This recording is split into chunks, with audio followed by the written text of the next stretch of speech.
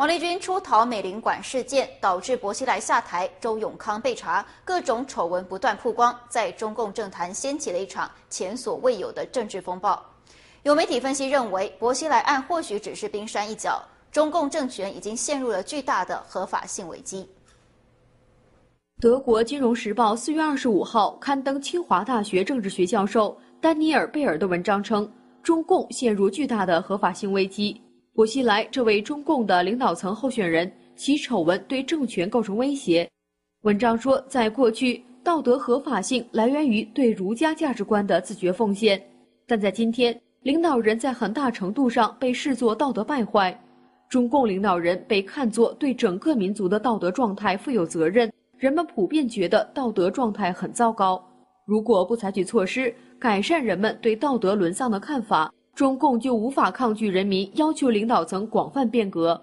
而时事评论员林子旭认为，中共无论怎么改，都无法逃脱被解体的命运。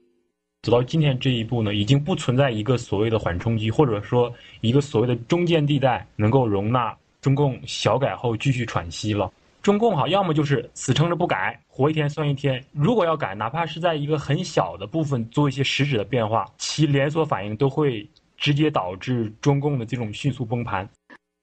英国《苏格兰人报》近期刊登文章：“中国最大的敌人在于自己本身。”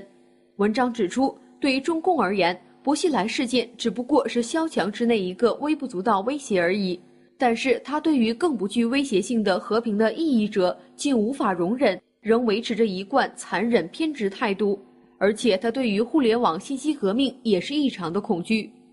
文中分析认为。博案被揭露出来丑闻细节，显示中共的三个弱点：其一，中共所能掌控的权力远比表面看到的脆弱许多；其二，中共高层官员之间的权力斗争与不团结；其三，中共处理博案的笨拙模式，显示其没有能力在互联网时代处理这种快速变化的政治危机。